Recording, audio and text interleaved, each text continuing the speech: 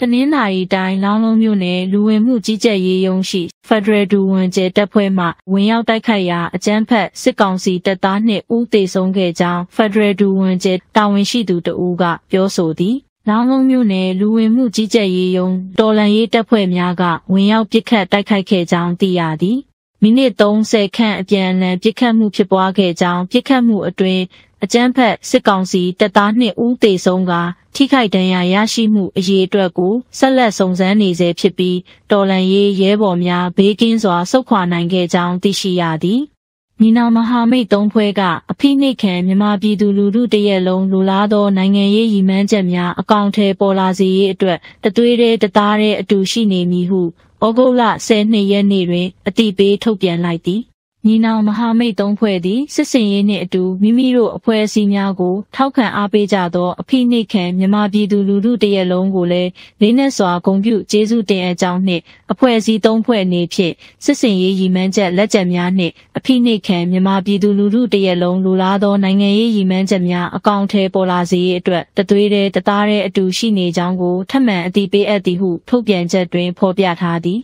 ကိုကန့်တအောင်နှင့်ရက်ခိုင်အဖွဲ့အစည်းတို့ပါဝင်သောညီနောင်မဟာမိတ်သုံးဖွဲ့၏1029စစ်စင်ရေးများနှင့်အတူရရှိလာခဲ့သောအောင်မြင်မှုမြို့သိမ်းတိုက်ပွဲများအပေါ်ဂုံပြူလွှာများပေးပို့လာကြသည့်အဖွဲ့အစည်းအသီးသီးနှင့်ဂုံပြူစကားပါပေးကြသောလူပုဂ္ဂိုလ်အသီးသီးကိုလည်းအထူးကျေးဇူးတင်ရှိကြောင်းညီနောင်မဟာမိတ်သုံးဖွဲ့ကပြောဆိုထားသည်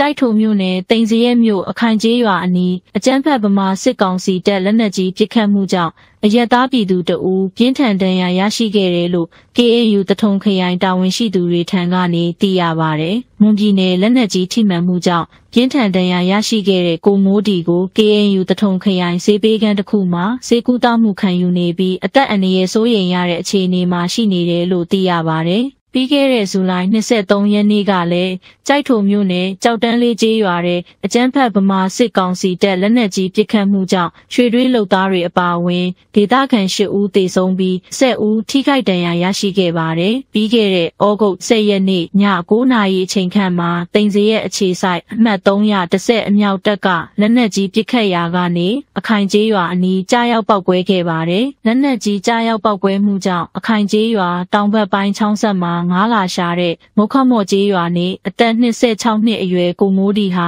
တန်ရာရရှိခဲ့ပါတယ်။ကောက်ယူထားတဲ့အချက်လက်တွေအရမွန်ပြည်နယ်မှာပြီးခဲ့တဲ့ဇူလိုင်တလအတွင်းအကြမ်းဖက်ဗမာစစ်ကောင်စီရဲ့လက်နက်ကြီးပစ်ခတ်မှုကြောင့်အရက်သား22ဦးသေဆုံးပြီး33ဦးဒဏ်ရာရရှိခဲ့ပါတယ်။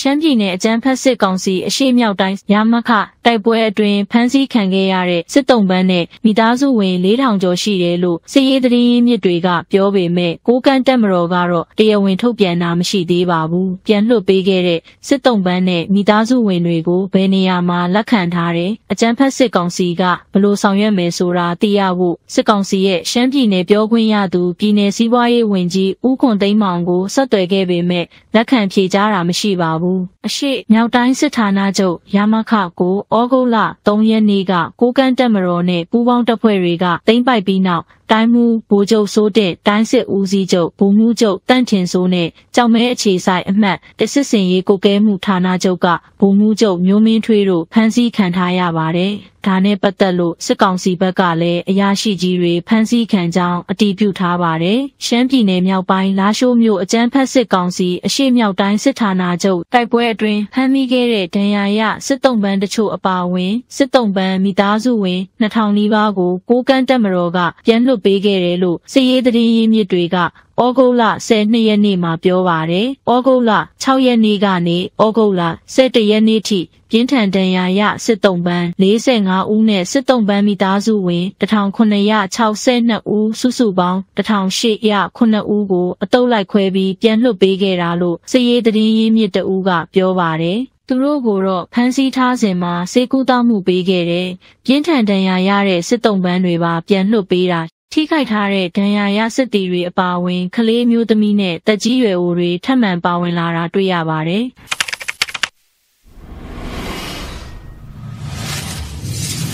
ဩဂုတ်12ရက်နေ့မှာကြားရောက်ခဲ့တဲ့84နှစ်မြောက်ကရင်အမျိုးသားအာဇာနည်နေ့ကိုကရင်အမျိုးသားအစည်းအရုံး KNU ဥက္ကဋ္ဌပဒိုစောကွယ်ထူးဝင်းကတဝင်းလွှာပေးပို့ရာမှာအခုလိုထည့်သွင်းပြောဆိုသွားခဲ့တာဖြစ်ပါတယ်။ ပြည်သူလူထုရဲ့စန့်ကျင်တိုက်ပွဲဝင်မှုတွေအရှိန်အဟုန်ပြင်းထန်လွန်းတဲ့အတွက်စစ်အုပ်စုဟာထိမ့်မနိုင်တော့တဲ့အခြေအနေကိုရောက်နေသလိုစစ်အာဏာရှင်ချုပ်ငင်းကွယ်ပြောက်တော့မယ်လို့ကရင်မျိုးသားအစည်းအရုံး KNU ဥက္ကဋ္ဌပဒိုစောကွယ်ထူးဝင်းကပြောပါတယ်။ မဟာလူမျိုးကြီးဝါရစစ်အာဏာရှင်စနစ်ဆုံးခန်းတိုင်ပြောက်ပြက်သွားဖို့ကြေယာကဏ္ဍအသီးသီးကနေပူးပေါင်းဆောင်ရွက်သွားကြရမှာဖြစ်ပြီးဒီနိုင်ငံကို Federal Democracy နိုင်ငံအဖြစ်နဲ့တည်ဆောက်သွားရမှာဖြစ်တယ်လို့မဟာလူမျိုးကြီးဝါရအာဏာရှင်စနစ်ပြိုလဲဆုံးခန်းတိုင်ဖို့အတွက်တိုင်းရင်းသားလူမျိုးတွေနိုင်ငံရေးပါတီတွေဒီဝါရကိုစန့်ကျင်တဲ့အဖွဲ့အစည်းတွေနဲ့အတူတကွပူးပေါင်းဆောင်ရွက်သွားကြရမှာဖြစ်တယ်လို့ KNU ဥက္ကဋ္ဌကဆိုထားပါတယ်။ကရင်မျိုးသားအစည်းအရုံးကရင်မျိုးသားလွတ်မြောက်ရေးတပ်မတော်ဗဟိုစစ်ဦးစီးဌာနချုပ်ကလည်းကရင်အာဇာနည်နေ့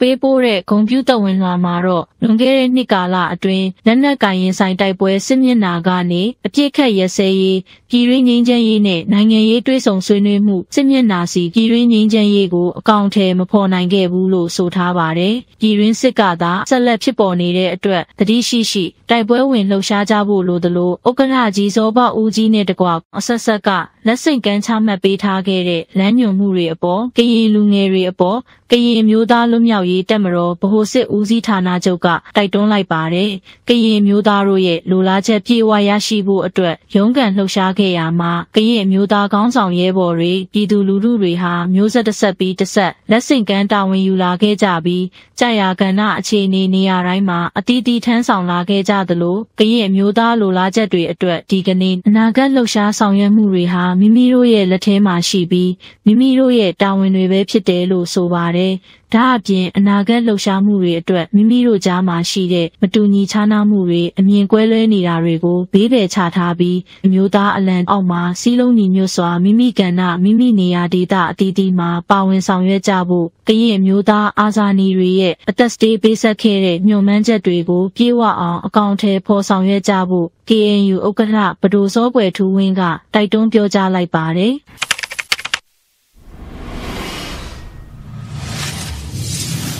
ချင်းပြည်နယ်ဟားခါးမြို့နယ်ရှိအကြမ်းဖက်စစ်ကောင်စီတပ်စခန်းတစ်ခုကိုချင်းပြည်ကောင်စီပူးပေါင်းတပ်ကယနေ့တိုက်ခိုက်သိမ်းပိုက်ခဲ့ရာလက်နက်ကြီးငယ်မျိုးစုံဆဲတလက်သိမ်းပိုက်ရရှိခဲ့ကြောင်းချင်းသတင်းရင်းမြစ်ကပြောသည်အဲ့ဒီလက်နက်တွေကဒီမနက်ဟားခါးနဲ့၃မိုင်အကွာမှာရှိတဲ့ဟားကားနဲ့တီးမစ်ချောင်းကြားမှာရှိတဲ့ကေးဘန်းဇွန်စခန်းကတင်စေရရှိခဲ့တဲ့ဟာတွေဖြစ်တယ်ဟုသတင်းရင်းမြစ်ကပြောသည် တည်င်းမြပြသသည့်ဓာတ်ပုံတွင်လက်နက်ကြီးတစ်လက်နှင့်စက်တနက်တစ်လက်နှင့်လက်နက်ငယ်၉လက်40မမပုံးသီးနှင့်အခြားခဲယမ်းကြီးများစွာကိုချင်းပူပေါင်းတပ်ကသိမ်းပိုက်ရရှိထားသည်ကိုတွေ့ရသည်ချင်းမျိုးသားတပ်မတော်နှင့်ချင်းဒေသကာကွယ်ရေးတပ်များပူးပေါင်းပါဝင်သည့်ချင်းပြည်ကောင်စီတပ်ပေါင်းစုသည် ဩဂုတ်12ရက်နနက်9နာရီခန့်တွင် အကြမ်းဖက်စစ်ကောင်စီကေးပန်းစွန်စခန်းကိုသိမ်းနိုင်ခဲ့ခြင်းဖြစ်သည်ဟုဆိုသည်တိုက်ပွဲအတွင်းထိခိုက်ကြဆုံးအခြေအနေနှင့်စစ်တုံးပန်းများဖမ်းဆီးရရှိမှုရှိမရှိအခြေအနေကိုမေးမြန်းရန်ချင်းမျိုးသားတပ်မတော်ပြောရေးဆိုခွင့်ရှိသူ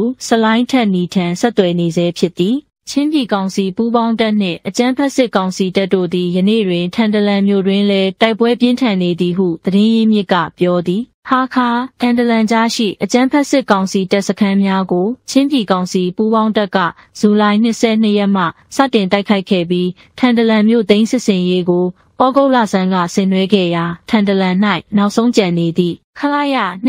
269တပ်ကုန်းကိုသိမ်းပိုက်ရရှိထားပြီးဖြစ်သည် အဆိုပါတပ်ကုန်းမှအကြမ်းဖက်စစ်ကောင်စီတပ်များမြို့ရင်းထွက်ပြေးသွား၍ဆက်လက်တိုက်ခိုက်နေဆဲဖြစ်သည်ဇူလိုင်22ရက်မှစတင်ခဲ့သည့်ချင်းပြည်ကောင်စီပူးပေါင်းတပ်၏စစ်စင်ရေးအတွင်အကြမ်းဖက်စစ်ကောင်စီတပ်စခန်းရှိခုထပ်မင်းကိုသိမ်းပိုက်ရရှိထားသည်